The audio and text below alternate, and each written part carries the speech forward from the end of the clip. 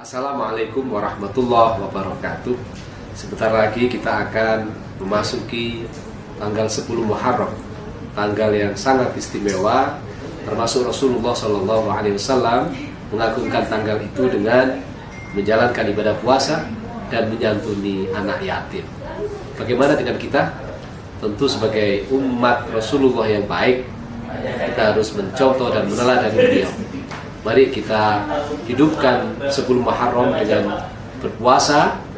Dan karena Rasulullah ingin puasa kita berbeda dengan puasa puasa penganut agama Yahudi yang juga puasa pada tanggal 10 Muharram kita diminta puasa tambahan di hari ke-9 Muharram atau hari Tasu'a untuk membedakan kita berpuasa dengan keimanan kepada Allah dan mengikuti Rasulullah Wasallam.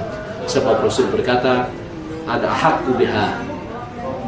Saya lebih berhak untuk berpuasa di bulan Muharram di bulan yang sangat mulia ini di tanggal 10. Nah, setelah itu, setelah kita berpuasa, pastikan kita termasuk bagian dari orang-orang yang menyantuni anak yatim. Karena sebelum Muharram disebut dalam beberapa riwayat termasuk cerita-cerita para salafus saleh sebagai Idul Yatama atau hari rayanya anak yatim. Rasulullah Shallallahu Alaihi Wasallam bersabda, "Ana wa kafirul yatim kahakada fil jannah." Ayat kahataini fil jannah. Riwayatnya ada yang begitu. Ada yang demikian. Maka pastikan kita di tanggal 10 Muharram karena Rasulullah mencintai anak yatim itu begitu luar biasa. Lebih-lebih tanggal 10 Muharram beliau menganjurkan kita mashu atau membasuh atau mengusap rambutnya anak yatim yang insya Allah dalam hadis disebutkan meskipun banyak riwayat mengatakan hadis ini doif tapi untuk di ilil amal boleh. Kita akan diangkat derajatnya setinggi sebanyak jumlah rambut yang kita usap.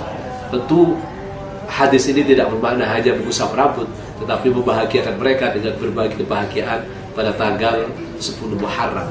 Caranya bagaimana? Bisa dengan berinfak, bisa dengan bersodakah, bisa dengan mentraktir anak yatim, mengundang anak yatim dan seterusnya.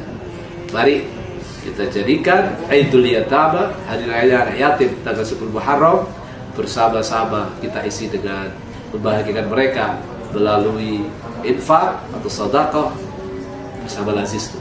Insya Allah keberkahan akan menyertai kita karena dengan demikian kita tidak hanya menghidupkan sunnahnya Rasulullah dengan berpuasa di tanggal 10 Muharram tapi juga menghidupkan sunnah Rasulullah dengan mengusap rambutnya anak yatim yang kita wujudkan dengan bersama-sama berbagi kebahagiaan dengan mereka.